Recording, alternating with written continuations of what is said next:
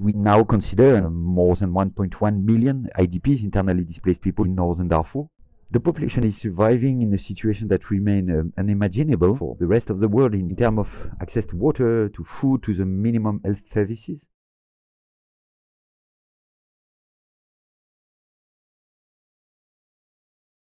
We carried out in January a, a, rapid nutritional assessment, and the result of this assessment is extremely alarming. More than 23% of the children aged uh, from six months to five years suffer from acute malnutrition, and 7% uh, of whom are severely malnourished. It's 2.3 uh, children under 5 who die every day per 10,000 people, which means that if we consider the population of the camp at the low range of 300,000 people, it's more than 13 children dying every day those who haven't died uh, yet are at high risk of dying within three, four, six weeks, mainly because their immune system has been really compromised and death can occur with very trivial infections or by diarrhea with dehydration, by malaria, by pneumonia. The mortality rate for children and adults also, what we called the crude mortality rate is massive at 2.5 persons per 10,000 people per day, which is really above the emergency uh, threshold. It's, it's also important to understand that the current period and the period this assessment was done is in January. And it's a period of the year which is supposed to be at the lowest levels of malnutrition